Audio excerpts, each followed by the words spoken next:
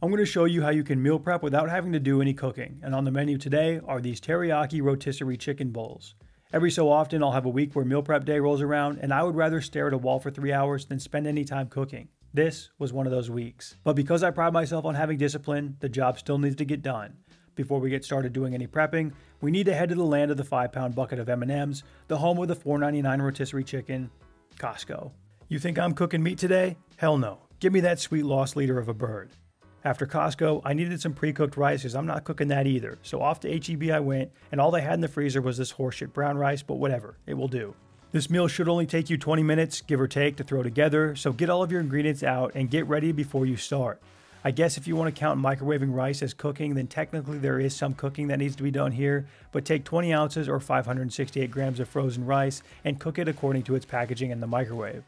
While that rice is cooking, you're going to prepare your slaw. Get out a large bowl and add to it 1 cup or 100 grams of matchstick carrots, and then add 12 ounces or 340 grams of shredded cabbage. The pre-chopped stuff in the bag is perfect for this recipe because it takes no prep work and it's thin cut pieces that will cook in the microwave upon reheating. To dress the slaw, you can add 2 tablespoons or 30 grams of rice vinegar, 1 tablespoon or 21 grams of honey, a small sprinkling of salt for flavor, and then 1 tablespoon or 15 grams of a crunchy chili garlic oil. The one that I'm using here is from Trader Joe. You should be able to find a jar at your regular grocery store. It will probably be in the Asian food section. If you can't find any, just use a different kind of oil. Stir the ingredients together until they are well combined and taste test, then adjust for flavor as you see fit. For a pop of color in my final dish, I'm going to use two small green onions that I cut into smaller pieces. This is up to you if you want to include it or not. Then while you have a knife and cutting board out, you're going to butcher the chicken. I like to piece it up into the legs, thighs, breasts, and wings, and then pick or cut all the meat off of the bones. For this recipe, I have written it to include 1.5 pounds or 681 grams of the pulled meat, so a small to medium sized rotisserie chicken is best, otherwise, you may have a lot left over. I ended up pulling 818 grams of meat off of this one. Once you've gotten all of your meat pulled and cut up, weigh out 1.5 pounds or 681 grams of it into a large bowl and store the remainder in your fridge for whatever else you want to use it for. Next, add 1 4th of a cup or 60 grams of teriyaki sauce to that bowl and mix it into the chicken. Make this easy on yourself and just pick out one that looks good from the store. No need to make this yourself, we're going for speed here. Next up is the rice. Now I would usually just mix the rice with all of the vegetables because I'm going to stir it all together when I reheat the meal, but I kept it segmented here because it looks more visually appealing when it is separated and I needed that for the thumbnail.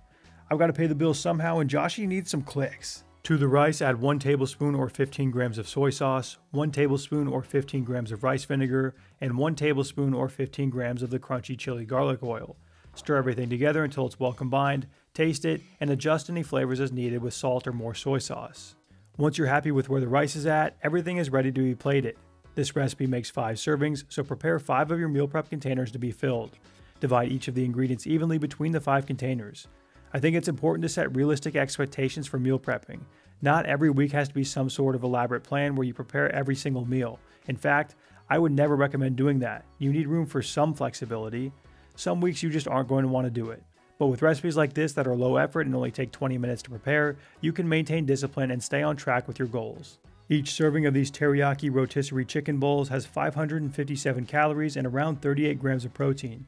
The flavor to effort ratio of this meal is massive, and I'm going to be enjoying it all week. Who doesn't love a good teriyaki chicken? You will probably be able to throw the lids on straight away since nothing here is hot, store these meals in the fridge for up to 5 days, and I wouldn't recommend freezing this one because of the slaw. To reheat, I'll pop the dish in the microwave for 1 to 2 minutes, then mix everything together and top it off with an additional 1 tablespoon or 15 grams of the teriyaki sauce to finish it off. If you're a college kid living in the dorms with no kitchen, this could be an option for if you wanted to meal prep. It can all be cooked and reheated in the microwave, so as long as you have some fridge space to store it, you should be golden. With how easy this dish is to make, keep it in the back of your mind for the next time you fancy a lazy Sunday but still want to get your meal prep done for the work week. The written recipe is linked down below in the description. See you guys next time. Goodbye.